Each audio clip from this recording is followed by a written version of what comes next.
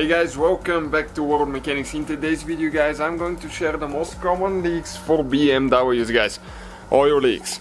So, if you have an oil leak, you start investigating, but if you have a Beamer, sooner or later you're going to have an oil leak. And why is that? Because the engine is a little bit more complicated. It has quite a few seals and rings, O-rings. So, with age, they turn into hard rubber, they don't seal as good and you start leaking oil. So stay with us and I'll show you what I'm talking about. Just guys, please subscribe to our new channel Electrical Car Repair Live. We just started that thing, quite a few videos coming there for BMWs as well. So, if you have a BMW, sooner or later you're going to replace a valve cover gasket.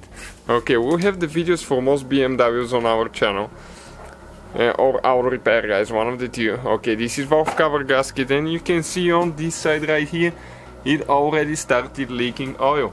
So, sooner or later, that will need to be replaced. Another one guys, okay, right here where uh, you have the oil filter housing, okay, there is a gasket right here. And this gasket often, often starts leaking, okay, and you can see we have some oil, not so much, but we have some underneath. So that's the second spot. After that guys, okay, you can see this is camshaft position sensor.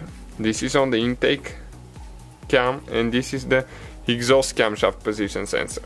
When you remove that sensor there is a O-ring, little seal that uh, often it will start leaking. Those are replaceable and they're very inexpensive. You can buy the whole kit for the whole engine. This is the Vanos solenoid. Inside of them, right here, you have another O-ring. Super easy to replace, we have the video on the channel.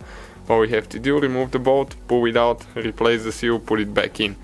So far, those things guys.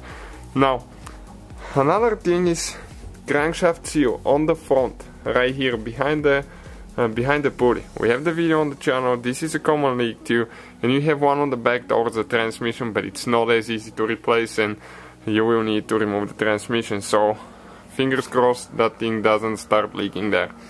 Uh, oil pans, I haven't noticed too many leaks on BMWs.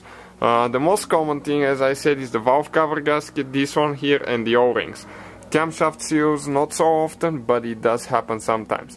What will reduce your oil leaks, guys, and developing uh, the risk of developing oil leak is changing your oil more often. Do not go 15,000 miles like BMW suggests. I usually go about 7,000, 7,500 miles, something like that, with BMW approved oil. So that's for today, guys. Just a quick video to share with you. Thank you for watching and see you guys next time.